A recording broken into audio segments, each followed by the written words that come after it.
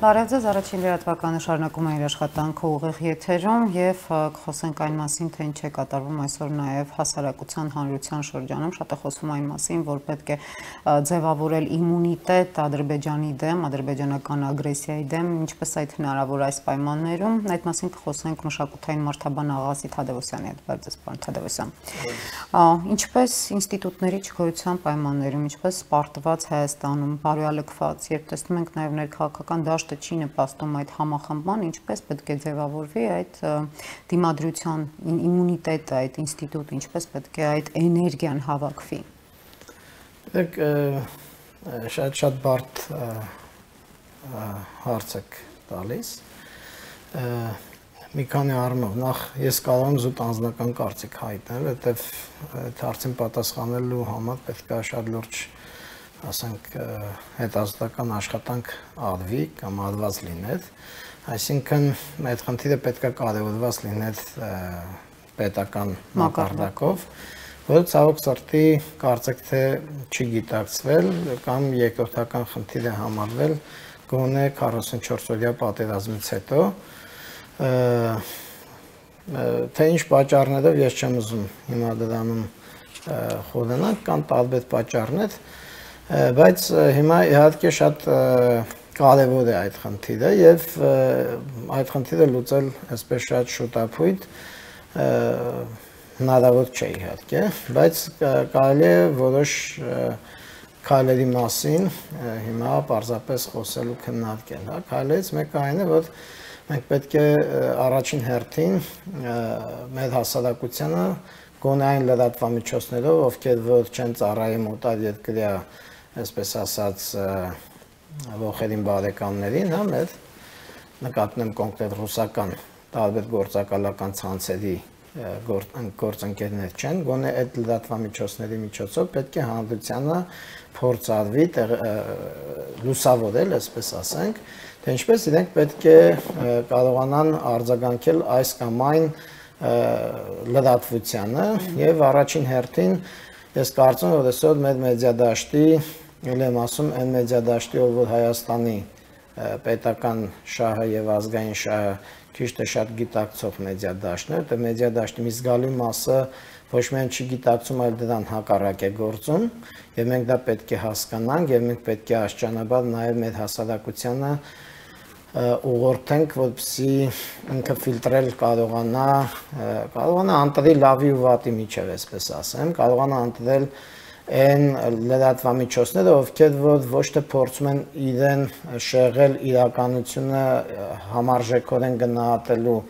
հնարավորությունից, այլ ընդհակառակը օգնում են, որպեսզի հասարակությունը իրականությունը համարժեքորեն գնահատի։ Այսինքն ամենագլխավոր խնդիրը այսօր հասարակությանը օգնել, որպեսզի ինքը ստեղծված իրավիճակը անընդհատ ամեն րոպե, ամեն ժամ կարողանա գնահատի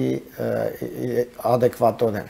Հիմա ինչի է դա կարևոր, որովհետև մենք տեսանք, ասենք օրինակ 2-3 օր առաջ, չէ, պատերազմին ամենաթեժ պահին, թե ինչպես, ասենք օրինակ այդ ներքին ընդդիմություն կոչվածը ցույցեր է կազմակերպում, ինչը որ պատերազմի ընթացքում նման բան անելը, դա պարզապես քարի վրա սեպագրով գրված կանոն է, աշխարհի բոլոր երկրներում դա հայտնի բան է, որ պատերազմական իրավիճակում ներքին խժդժություններ չի կարելի անել, որովհետև դա նպաստում է թշնամու գործողությունների հաջողությանը, այլ ոչ թե քո պետության պաշտպանունակության ուժեղացմանը։ Եթե դու ունես քաղաքական խնդիր, թող անցնի քրիտիկական իրավիճակը, քո քաղաքական խնդիրը ելի դու լուծի։ Այսինքն քաղաքական խնդիրը պատերազմի քրիտիկական պահերին լուծելու համար չեն։ Ինչ եմ ես սա ասում, որովհետև սա շատ կարևոր է, որպեսզի եւ սա նույնպես մեր հասարակությանը օգնելու եւ այսպես ասած ավելի սառ եւ ստապ իրավիճակը գնահատելու նպաստելու ուղղված բանա խոսք է, որ մարդիկ պետք է կարողանան հասկանալ, եթե նման իրավիճակներում անկախ նրանից թե որ ուժն է դա անում, ով է անում, ինչ գործից չի անում, որքանով է նա մարդկանց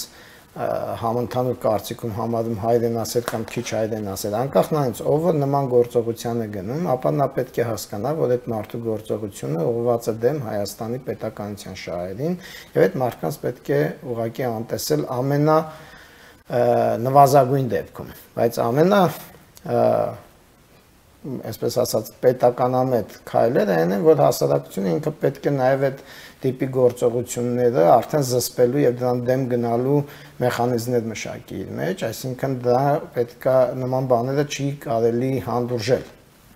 Հա այդ հանդուրժելու եղանակը չհանդուրժելու եղանակը իհարկե իմ կոչը ինչի որ փողոց դուրս գան եւ դրանց Որն է հանդուրժելու եղանակը, որ տարբեր տեսակի ավելի չտարածվի, էլ ավելի այդ չբախվում կա պետական մարմիններ եւ պետական մարմինները որոշ դեպքերում շատ ասենք այսպես անողնաշար են գործում, հա, եւ նրանց պետք է նույնպես վերահսկել Այսինքն այդ պետական մարմինների վերահսկելը պետք է հասարակությունը անի։ Եվ հասարակությունը ցավոք սրտի մեր հասարակությունը այդքան էլ ինքնակազմակերպված հասարակություն չէ, բայց ես կարծում եմ, որ այսօր ժամանակն է, որպեսզի մենք նաև բազմաթիվ հասարակական կազմակերպություններ կան Հայաստանի ներսում գործող, դրանց մի մասը պարզապես ասենք ինչ որ կարճատև ծրագրեր անող անիմաստ կազմակերպություններ են, բայց կան բավականին լուրջ կազմակերպություններ։ Այսինքն այդ կազմակերպությունների հետ պետք է աշխատել։ Այսինքն մենք որպես հասարակություն պետք է կազմակերպվենք եւ որպես որովհետեւ չկազմակերպված հասարակությունները իրենք չեն կարողանում կազմակերպված ձևով ձեր ասած հարցեր լուծել։ Դրանցից մեկը օրինակ հասարակական կազմակերպություններն են։ Մյուսը ակադեմիական տարբեր տեսակի հետազոտական կառույցներն են, որտեղ որ աշխատում են բավականին հասկացող լավ գիտնականներ, հատկապես երիտասարդ սերնդի, ովքեր նաև կարող են փորձագիտական եւ վերլուծական կարծիքներ հայտնել ստեղծված, ասենք, խնդիրների վերաբերյալ։ Պետք է հնարավորինս այդ մարդկանց Բայց մենք չենք տեսնում, որ այդ մարդիկ պետք է ներգրավել այդ մարդկանց եւս չեն գալիս Պետք է ներգրավել, հնարավորինս պետք է ներգրավել մարդկանց հանրային խոսք ասելու։ Շատերը, ասենք, կաշկանդված են տարբեր բաներով, բայց պետք է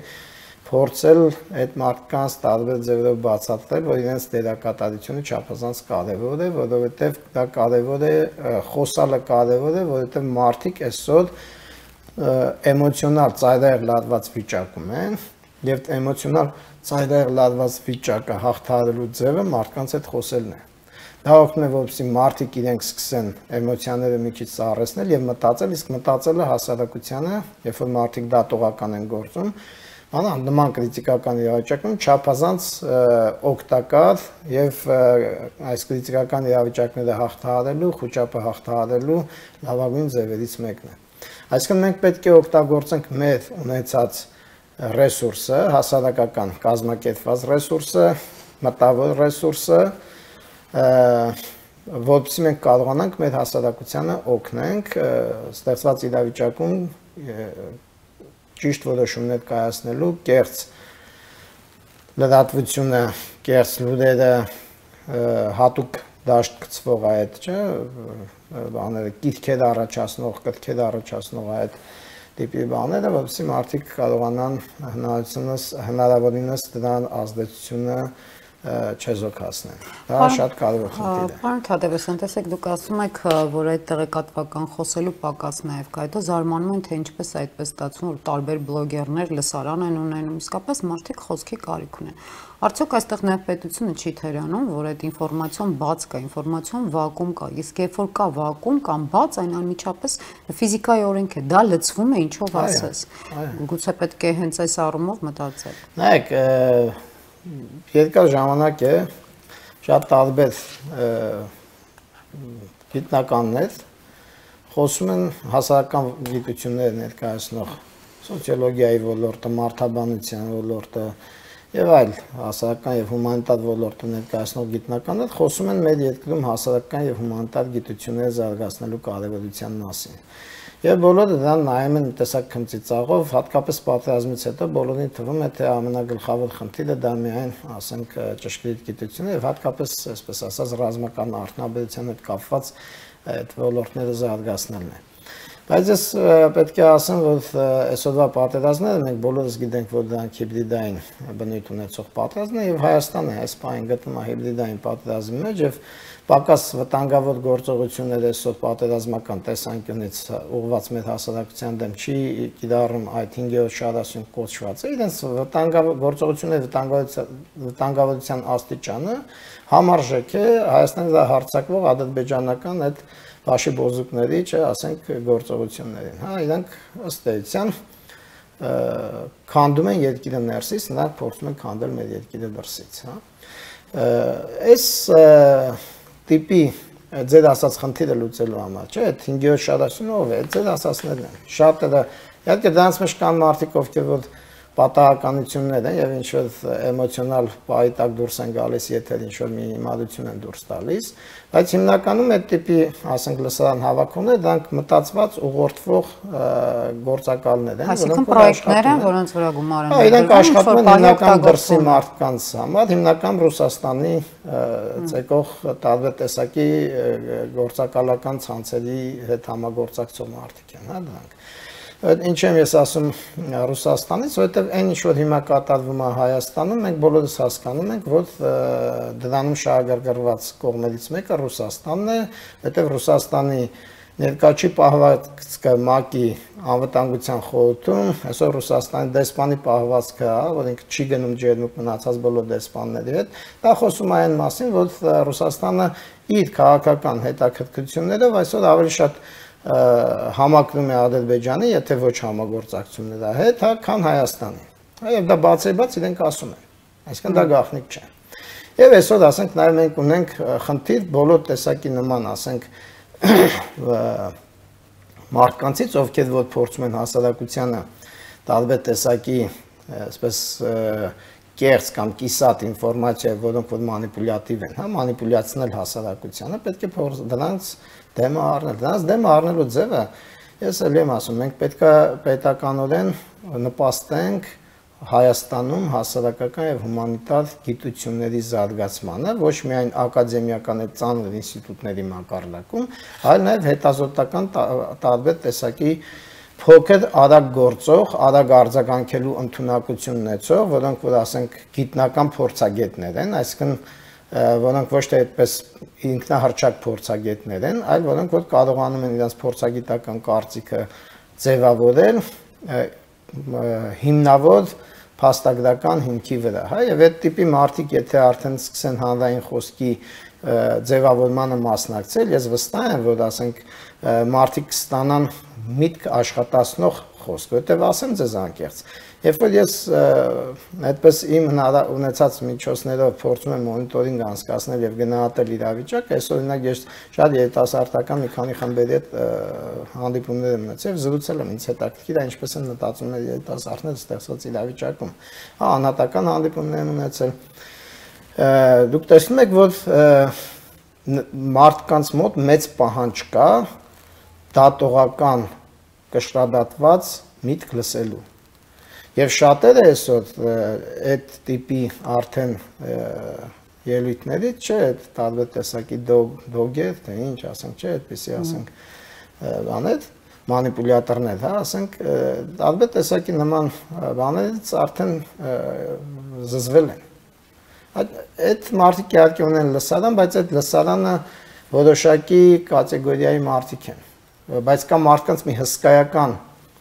զանգված, ով խոսքի կարիք ունի, ովքեր ասենք այդ դոգ լսողներ չեն կամ դոգատիպ նման ասենք կենթանիներ լսող չեն, հա? Մարդիկ ունեն կոնկրետ խոսք լսելու կարիք, միտք արտահայտող խոսք լսելու կարիք, բայց այդ խոսքը չկա հանրային մասշտաբներով, հանրային մակարդակում։ Հիմա հարցը առաջանում, ասենք, ինչի մեր պետությունը պետական մակարդակով չի նպաստում, որպեսի երիտասարդ տարբեր գիտնականներ համախմբվեն հետազոտական փոքր կառույցների մեջ, ձևավորեն փոքր հետազոտական ինստիտուտներ եւ իրենք իրականացնեն կարևոր գործ մեր պետության համար։ Հա, իրականացնեն այն կարևոր խնդիրներին ուղղված հետազոտություններ, հետո այդ հետազոտությունների տվյալները հրապարակեն, հետո նաեւ իրենք ազդեն հանրային կարծիքի վրա։ Բայց այդ հարցի պատասխանը դուք գրել եք մի անգամ ձեր ստատուսներից մեկում, նշել եք ինչու պետք է ես գիտությունների ակադեմիայի ավագ գիտաշխատողոց, որ 60 մոտ 60-ի հարցազրույցներ է արել մշակութային մարդաբանության թեմով, հենց պատերազմական թեմով պետք է ստանամ այսքան գումար, իսկ չգիտեմ падգամավորները ստանան X չափի գումար։ Այդ հարցի պատասխանը դուք գիտեք։ դե, Դրան եմ ես ասում, այսօր արդեն մենք տեսեք քրիտիկական իրավիճակ իրավիճակներում մենք կանգնում ենք այդ խնդրի առաջ, այդ խնդիրը կարևոր է դառնում Հետո անցնում է այս իրավիճակը, մենք էլի ընկնում ենք թմբիրի մեջ, հա, պատերազմից հետո անցել է 2 տարի, այն ժամանակ էլ կային մանիպուլյացիաներ։ Չնայած այս երկու օրվա մեջ դա սարսափելի թվով մանիպուլյատիվ բան առաջացավ, ասենց հոսք առաջացավ։ Ժողովրդի վրա պարզապես որոշել էին այսպես հոգեբանական լուրջ գրող կիրառել, ներքին դաշտում մի հատ խայտարակ վիճակ է տիրում, չէ՞, այդ բանը եւ հիմա ավելի լավ է տերևած բայց ասեմ ձեզ ես այս ամեն ինչի հետ միասին տեսնում եմ նաեւ շատ-շատ հետաքրքիր այլ process-ներ, որոնք որ կարևոր են մեր համար։ Որոնք են։ Ես տեսնում եմ, որ չնայած իր բացասական առումներին, այս ինչ որ ես ասում եմ, չէ, փողոցային տարբեր տեսակի այս բաները խժդժությունները եւ այլն տարբեր տեսակի իրենց հայրենիքի փրկի չարչակած իրականում Հայաստանի դեմ գործող տարբեր տեսակի գործիչներ, չէ, իրենք ըստ շատ հստակ գնահատական են ստանում։ Այդ գնահատականը միգուցե մենք չենք տեսնում, այսպես չի հնչում հերոստատեսյան ալիքներով բան, բայց ես ասեմ սոցիալական տարբեր ցանցերում իդեպ այդ լճացած ու ծերունի ծերուն տեսքով էս դախացած Facebook-ը չի։ Facebook-ը հիմա շատ դախացած տարածք է։ Հիմա շատ ավելի հետաքրքիր շփումներ են տեղի ունենում երիտասարդության մեջ եւ ասենք մեծացել է նախ երկու բան է տեղի ունեցել։ Նախ մարդիկ երիտասարդները բան են քաղաքական այսօր գործող ուժերին շատ համարժեք վերաբերմունք ունեն, շատ համարժեք գնահատականներ ունեն։ Այսինքն իրենք հնարավորություն չունեն ընդհանրապես լսարան ձայներ հավաքելու, բացի այն ինչ որ իրենք հավաքում են, հա, այսինքն իրենք չեն կարողանալու ոչինչի հասնել։ Եվ այս երկու օրվա մեջ ավելի հեղինակազրկվել են ըստ իմ դիտարկումների։ Շատ մեծ հեղինակազրկում է տեղ ունենում, որովհետև կրիտիկական իրավիճակը մենք ինչքան էլ նայում ենք, որ ինքը էմոցիոնալ ֆոն ունի, բայց միևնույն ժամանակ նաև ուժեղացնում է մարդկանց գնահատելու, գնահատականներ տալու եւ կողմնորոշվելու կարողությունը, որտեղ եթե ինքը կրիտիկական իրավիճակում ճիշտ չկողմնորոշվեց, դա պարզապես գոյատևմանը վտանգ է հանդիսանում։ Այնպես որ ուզում եմ ասել, որ նաև շատ հետաքրքիր խոսակցություններ կան հիմա քաղաքական նոր ուժի ձևավորման պահանջի եւ ասեմ ձեզ, գործող այդ այդ ռեսուրս, ռեսուրս կա։ Կա։ Կա մատերիալ են վերացում, կա, որպեսզի ինչի ձևավորվելու է այդ քաղաքական նոր ուժը։ Այն այն մասշտաբի խոսակցությունները, որ հիմա այս երկու օրվա մեջ երիտասարդության տարբեր խմբերի, ես նկատնում եմ երիտասարդությունը ասելով 30-ից վերևը նկատի չունեմ մինչև 25-26 տարեկանները նկատնում 18-ից սկսած։ Դուք չեք պատկերացնում ինչ լուրջ ու մեծ հետաքրքրություն է իրանց մոտ այս ամեն ինչի հանդեպ, ու ինչ լուրջ քննարկումներ տեղ ունենում ասենց մասնակի խոսա մասնավոր խոսակցությունների մակարդակում, իսկ դա շատ կարևոր, այսինքն առօրյա դիսկուրսներ կան այսօր երիտասարդության միջավայրում, որոնք որ ձևավորում են Հայաստանի քաղաքական դաշտի ապագան եւ ապագա ընտրությունները։ Այսինքն այդ այդ քննարկումներում հավասարա, նո հավասարապես չասեն, բայց խիստ քննադատությունն է ենթարկվում նաև գործող իշխանությունը, այսինքն իրենք շատ adekvat գնահատում են նաև այսօրվա իշխանությանը, որ շատ-շատ հարցերում թերացումների պատճառն է նշեմ, որ նույնի մոնիտորինգի արդյունքում այն մարդիկ էին հայտնվել դուրս եկել 3 փող այս 2 օր առաջ փողոց, որոնք իսկապես ոչ մի ուժի չէին հարում, բայց դժգոհ են նաև այս իշխանություններից, այնպես չէր որ ու ամեն անգամ երբ հայտնում են որ քաղաքական գործիչ որ փորձում էր վերցնել գործընթացը իր ձեռքը մարդիկ չէին ընդունում։ Չկա այդ վստահությունը, որովե քաղաքական դաշտի ներկայիս բոլոր ակտորների հանդեպ չկա վստահություն։ Հետո գիշերը այդ այդ բանում ազգային ժողովի դիմաց մարդիկ էին հավաքվել, այդ հավաքված մարդկանց մեծ մասը շատ նորմալ մարդիկ էին կազմակերպիչներն էին անորմալը։ բայց հավաքված մարդիկ նորմալ մարդիկ էին, մարդիկ եկել էին։ Ոնց է կազմակերպում չէ եղել, ինքնաբուխ էին նաև մարդիկ եկել։ Մասնախոսքը, չէ, մարդկանց գալը ինքնաբուխ էին եկել։ Եղան հայտարարություններ։ Հայտարարությունների հետևանքով մարդիկ եկան։ Հայտարարությունների հետևանքով մարդիկ եկել են, բայց այնտեղ եկած մարդկանց մի մասը եկել է պարզապես իմանալու մտահոգված մարդիկ էին, այսինքն ոչ թե ինչ որ այդ կազմակերպիչների նման մարդիկ էին, որ որոնք որ փորձում էին պղտոր ջրում ձուկ որսալ, որտեղ իրենք պղտոր ջրում ձուկ որսացողն են, այսինքն փորձում են քաղաքական դիվիդենդներ շահել պատերազմի հաշվին, երկրի ճակատագրի հաշվին, հա, իսկ ընդեղ եկած մարդիկ այդպիսի մարդիկ չեն։ Այսինքն մարդիկ պարզապես ստեղծված ան հուսալի իրավիճակում փորձում էին հասկանալ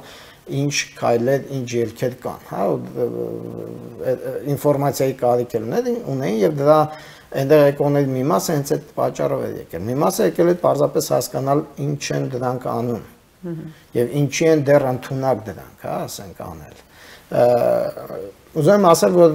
նաև այդտեղ եկածները նույնիսկ բանեն, բայց ես ասենք ինքս էլ գնացի զուտ դիտարկում անելու նպատակով, ասենք այդ դրանց մեջ նաև կային Գիտեք, այն հաբիտուսի մարդիկ, ովքեր որ նոյեմբերի 9-ին մտել են եւ ազգային ժողով ու կառավարություն էին ջարդում, հա, ասենք այդ հաբիտուսի մարդիկ էլ կային եւ ինձ թվում է, որ այդ մարդիկ հենց այն մարդիկ էին, ովքեր որ այդ կոչերով ու կանչերով հրավիրվել էին այնտեղ, այն հույսով, որ ելի իրենց համար շանս առաջանալու շատ ավելի լուրջ ինչ որ բաների հեղաշրջման եւ իշխանություն զավթելու, հա որտեղ այդ հույսը իրենք ունեին այդ բանը։ Ես կարծում եմ, որ կասկածում եմ, որ ունեին այդ հույսը այդ բանը, որտեղ իրենց պահվածքից երևում է, որ իրենք այդպես վստահ են, որ հեսա կարողանալու են գոնե այս անգամ իրենց բախտը բերելու, հա, բայց իրենց բախտը երբեք չի բերելու, որտեղ հասարակության մեջ իրենք չունեն աջակցություն, այսպես ասեմ իրենք չունեն բացարձակ աջակցություն եւ այս իրադարձությունների հետևանքում իրենց վատկա իրենք ավելի ու ավելի վատկա բեկվեցին իրենց վատկանիշը հիմա ընդհանրապես գնում է դեպի զրոյացման հա այս խնդիրը բայց Այս սրա հետ միասին ուզում եմ ասել, որ մարդկանց մոտ այդ զրոյացման ու այդ տիպի ուժերի հանդեպ քննադատական վերաբերմունքի ու վատկանիշի հանգման հետ զուգահեռ մարդկանց մեջ ուժեղանում է խոսակցությունը ռեալ քաղաքական նոր ուժի անհրաժեշտության, որը կարտահայտի իրենց շահերը։ Իսկ ովքեր են իրենք, իրենք այսօր բավականին պրոգրեսիվ մտածող երիտասարդներ են, շատերը բավականին լավ վաստակում են եւ բավականին մտահոգ են երկրի ճակատագրով եւ չի բացառում որ իրանց մեջից էլ դուրս գան գործիչներ եւ ես չեմ բացառում որ գործող քաղաքական դա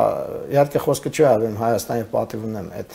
թևին, որովհետև դրանք ուղղակի սպառված բաներն իրանց երիտասարդներով հանդերձ։ Այնտեղ երիտասարդները նույն ձև են մտածում, ինչ որ 100 տարեկաններ իրանց կուսակցության, հա, սա այդպեսի, ասենք Սերժ Սարգսյաններ են այնտեղ երիտասարդները։ Խոսքը այդ իրենց վարկաբեկած ուժերի մասին չի։ Այլ խոսքը վերաբերում է գործող քաղաքական տարբեր ուժերի մասին եւ պարլամենտական այսօր գործող ուժի մասին եւ նաեւ պարլամենտից դուրս գտնվող տարբեր խմբավորումներ, որոնք ունեն շատ հետաքրքիր պոտենցիալ, հա։ Այնպես չի բացառում, որ այս ստեղծված իրավիճակը, որը որ բավականին քրիտիկական է, ինքը առաջացնել է նաեւ այդ քրիտիկական իրավիճակից դուրս գալու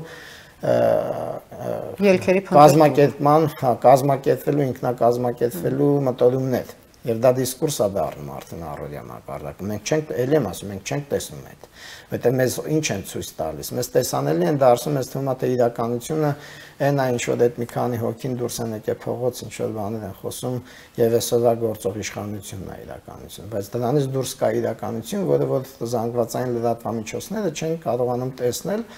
այն պատճառով, որ իրենք էլ այդքան ճկուն չեն պրոգրեսիվ չեն այսօրվա մեր զանգվածային լրատվամիջոցները։ Իրենք իրենք իդեպ ասեմ, իրենք քարացած են, որովհետև ըստ էության ԶԼՄ-ն այսօր մի քիչ դասական տիպ է ձևա ինֆորմացիա։ Ես չեմ ասում, որ իրենք պետք չեն, իրենք պետք են, չափազանց կարևոր են, բայց ԶԼՄ-ներից դուրս այսօր կա ինֆորմացիայի շրջանառման այլ ռեսուրսներ, որոնք որ շատ ավելի ճկուն են եւ շատ ավելի մեծ դեր են խաղում հատկապես երիտասարդների մեջ կարծիքների փոխանակման, համախմբման, եւ ընդհանրապես կոմունիկացիայի համար։ Եվ իրենք ավելի գերադասում են ուղղակիորեն կոմունիկացվել, անմիջականորեն իրենք կոմունիկացվել։ Դե շատ տարբեր խմբերի պատկանող երիտասարդներ են, անպայման չի իրենք այսպես խիստ պրոգրեսիվ լինեն։ Իրենց մեջ կան նաև, այսպես ասած, պրոգրես ապրող քարտուներ, այդ որ ասում ենք, տարբեր տեսակի խմբեր կան, որոնք որ բոլորը ունեն այդ մտահոգությունը եւ իրենց մոտ արդեն ձևավորվում են այն ամենակարևոր բաներից մեկն էլ ասեմ, իրենց մոտ տպավորություն կա, որ այս խոսակցությունների արդյունքում արդեն ձևավորվում են այն արժեքային, ոնց որ ասած, բաները, էլեմենտները, որոնք որ իրենց համար կարևոր են դառնալու ապագա քաղաքական ուժի գնահատման համար։ Եվ ասեմ ձեզ ինձ հայտնած կարծիքներից շատերում կա այսպիսի միտք, որ ապագա ընտրություններում հաղթելու է այն ուժը, ոչ չի լինելու ոչ իշխանությունը, ոչ էլ այդ Հայաստան պատիվ ունեմ եւ նմանատիպ ասենք այդ տիպի, ասենք անցյալից եկող եւ անցյալում մնացած այդ ուժերը։ Իրանք ընդհանրապես մեռել են, իրանք մեռած դիակներ են, ստեյցիան կարելի է զոմբի համարել իրանք, որոնք ասես մեկ-մեկ գերեզմանից ելնում են, ասես զոմբիություն են անում, էլի մեռնում են, հա։ Ճիշտ այնտեղ հայտնվել են նոր դեմքեր, ինչ որ ասես բանը անձը փոխվել է, բայց ուժը մնում է այդ զոմբի ուժը, ասենք։ Այսօր դրանք քաղաքական զոմբիներ են, մի քիչ սարսափ առաջացնող, բայց իրանք չկան ստեղծեն։ Մեզ նոր ուժեր են։ Դուք նաև շատ կարևոր թեմայից խոսեցիք լրատվամիջոցներից, լրատվամիջոցների ճկունությունից, կարևոր դերից։ Ես վերջերս լսում էի նաև պրոֆեսոր Դերլուգյանի հարցազրույց եւ նա շատ մի կարևոր դիտարկում արեց, որ այս պահին Հայաստանին անհրաժեշտ է պարզապես դիմանալ Արժանաժեշտ է որևէ բան չստորագրել, պահել ատամներով հողը, եթե որտեղ չես կարողանում պահել բնակչությանը հանել, բայց ոչինչ չստորագրել, ու եթե ստորագրում ես, կնքում ես։ Ու նաև նա անդրադարձավ լրատվամիջոցների դերին, նշեց, որ լրագրողներ հսկայական անելիք ունեն այս պահին, պետք է ամրագրեն, փաստագրեն, հավաքագրեն, ներկայացնեն հետագայում նաև աշխարհին Ադրբեջանի արած բոլոր ռազմական հանցագործությունները, որովհետև մեզան մի քիչ տենց թերահավատ մոտեցում կա այդ ամենին, բայց մենք տեսնում ենք, թե ինչպես է դա օգտագործում Ուկրաինան, ինչպես են կարողանում այդ ռազմական հանցագործությունները բացել ագրեսորի դեմքը։ Ու սա շատ կարևոր մեսիջ էր պարոն Դերլոգյանի կողմից, որ կարծում եմ պետք է հենց լրատվական դաշտը դա հասկանա, վերցնի։ Այո, ես համաձայն եմ դա այդ։ Ամբողջ խնդիրը գիտեք ինչու՞ն է։ Դուք տեսեք համատություն տակ Ուկրաինայի հետ, ես հետևում եմ իհարկե Ուկրաինայում կատարվող այդ գործողություններին, իրադարձություններին եւ դրա լուսաբանմանը։ Եվ ես տեսնում եմ, այնտեղ բավականին լուրջ պրոֆեսիոնալներ կան լրատվության ոլորտում եւ այդ մակարդակի պրոֆեսիոնալիզմ մեր մոտ այդքանը շատ չի։ Մեր մոտ կան պրոֆեսիոնալ լրագրողներ, բայց քիչ են։ Այսինքն մենք ոնց պետքա լրացնենք այդ բացը, ես չգիտեմ, բայց այդ տիպի աշխատանք պետքա կատարվի։ mm -hmm Ես համաձայն եմ։ Միգուցե կարող է այդ տիպի աշխատանքը կատարվել, եթե ասենք մեզ ԼՄՆ-ները, ովքեր որ այս սովետվա վիճակում կարողանում են օգտակար աշխատանք կատարել եւ գործում են պետության եւ հասարակության շահի դիրքերից։ Ես անդադ սա ուզում եմ շեշտել, որովհետեւ Հայաստանում կա զգալի թվով ԶԼՄ կոչվածներ, որոնք գործում են այդ պետության եւ հասարակության դեմ։ Իրենք օտարերկրյա այսպես ասած մեսիջներ են այստեղ անդադար շահեր են այստեղ ռեալիզացնում, այլ ոչ թե Հայաստանի շահերն են ռեալիզացնում։ Դրա համար իսկ իդեպ ասեմ Ուկրաինան ինչի կարողացավ հիմա հաջողությամբ պայքարում այև արդեն հաղթական իր օգտին հաղթական գործողությունների հունամցրել պատերազմը այն որ ինքը 2014 թվականին հետո երբ ռուսական ագրեսիան եղավ իր հանդեպ լուստրացիա ինքը կարողացավ գործակալական ռուսաստանի գործակալական ցանցը զգալիորեն վնասել այդ թվում նաև լրատվամիջոցների ոլորտում հա հիմա մենք այդ չենք արել մենք այդ չենք արել եւ դա շատ վատ է որ չենք արել եւ նույնիսկ իմ է ոչ էլ նման մտադրություն կա որ անեն չնայած այսօր վարչապետի ել խոսքի մեջ, այսօր թե երեկվա խոսքի մեջ ես մի հաղորդագրություն կարդացի, որ կա նման դատողություն, որ պետք է ամեն ամենտեղ գործակալներ են եւ պետք է այդ գործակալներով զբաղվել։ Այսինքն յետքից չես կարող կառուցել այդ աշճանի այդ տիպի, ասենք, բանի վրա։ Դիտեք ես այդ լուրջ խնդիր է, շատ լուրջ խնդիր է։ որ ընդհանրում եմ, ուզում եմ հիշել։ Հիբրիդային պատերազմի էլեմենտներից մեկն է, որը վարում են այդ մարտիկ Հայաստանի դեմ։ Իրանք ազգությամբ հայեր են, Հայաստանի քաղաքացիներ, բայց իրանք Հայաստանի դեմ են գործում։ Ես ուզում եմ այստեղ մեջ բերել բրիտանական հայտնի պարբերականներից մեկի հոդվածը, որը նշել էր հետազոտություններ արել եւ գրել էր, որ Ռուսաստանը, երբ այդ բլիցկրիգը անում էր, իր հույսը դրել էր նաեւ իր գործակալական ցանցի վրա։ Նա հույսը դրել էր, որ գործակալական ցանցը պարակտում կմցնի ուկրաինական հասարակության մեջ եւ իրենք շատ արագ կկարողանան իրականացնել բլիցկրիգը։ Եթե հիշում եք պատերազմի Երկրորդ թե երրորդ օրը, երբ որ Ռուսաստանից կոչ արեցին ուկրաինացի գեներալներին միանալ իրենց եւ միասին իրենք կորոշեն թե ոնց են Ուկրաինայի ճակատագիրը հետագա, չէ, բանանում եւ Զելենսկուն կլոուն անվան, ծաղրացու անվանելով չէ, որ պետք է այդ ծաղրացույց հրաժարվել, այդ հույսով էին անում, բայց փաստորեն ստացվեց այնպես, որ իրոք Ուկրաինայում կարողացել էին այդ ժամանակը արտնավետորեն օգտագործել եւ իրենց, ասենք, պետության հիմքերը ամրապնդել, որտեղ գործակալական այդ ցանցերը պետության հիմքերը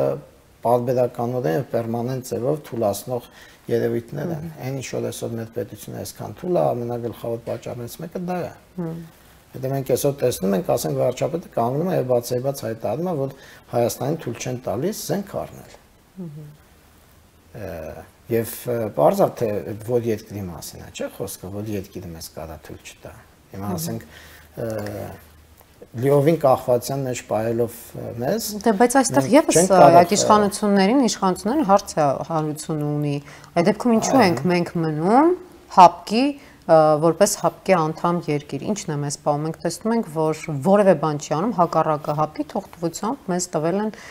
թուրք-ադրբեջանական հոշոտմանը։ Ու երբ աշխարհը մեզ չի օգնում, մենք բողոքում ենք օգնենք, աշխարհը ասում է դու այլ ռազմական կառույցի ժամանակն է, որ մենք շատ լուրջ մտածենք առաջիկայում տեսեք մեր